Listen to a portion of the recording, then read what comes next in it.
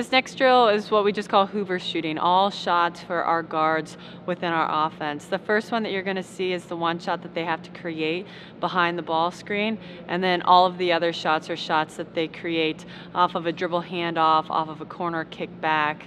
Um, all shots, though, that are within our offense that we practice every day, so that way, whenever we get into the games, they're shooting shots that they've taken hundreds of times throughout the course of the year. Here you go. You got pull behind. Pull behind. There you go, back. Head with the corner back.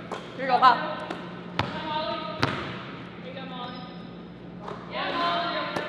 Here you go. And G, you're back in line. You're back in line. Here you go. Here you go. Here you go, Lex. Here you go. Here we go. We got kickouts to the corner. Corner kickouts. Downhill attack. Corner kicks.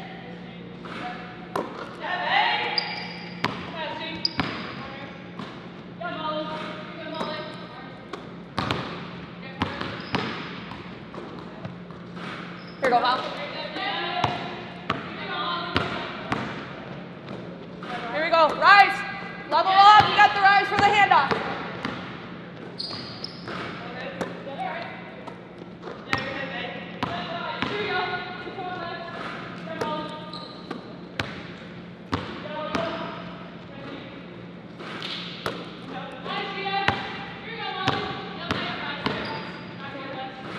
go. Quarter kickback. quarter kickback.